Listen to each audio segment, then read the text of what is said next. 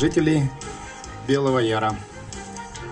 Ежегодно, каждую вторую субботу августа, мы празднуем этот замечательный праздник День физкультурника. Официально этот праздник празднуется уже 42 раз. И сегодня э, в рамках этого праздника мы не только чествуем наших спортсменов, мы открываем новую спортивную площадку, которая предназначена для игр волейбол, футбол и баскетбол.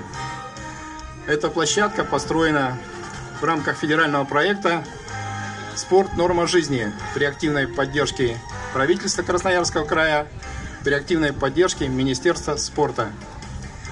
Для этой цели Ачинскому району было выделено 4 миллиона рублей, которые были освоены достойно. Мы помним, мы помним э, те трагические события, которые произошли э, в мае этого года. Мы помним всех погорельцев, практически всех поименно. Но жизнь продолжается. Поселок начинает отстраиваться заново, строятся дома по новым проектам. Поэтому мы э, свои обязательства социальные, которые взяли в начале года, мы их выполняем. Я сейчас говорю о спортивной площадке, которую мы сегодня принимаем у подрядчика. Я говорю о Доме культуры, где заканчивается капитальный ремонт. Я благодарю всех, кто принимал активное участие в подготовке этого проекта, кто принимал активное участие в строительстве. Прежде всего, э, главу сельского совета Артура Самигулыча, отдел физической культуры, руководителя спортивной школы, всю нашу общественность, всех депутатов различного уровня.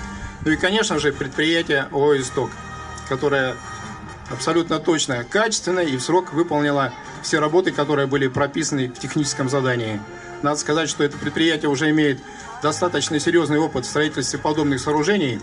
Ровно год назад мы открывали подобную спортивную площадку в селе Ястребово. Все вы, наверное, помните. Э, сегодня эта площадка очень востребована. Сегодня она наполняема различными слоями населения. И очень много людей выбрали именно спортивный, э, нормальный образ жизни.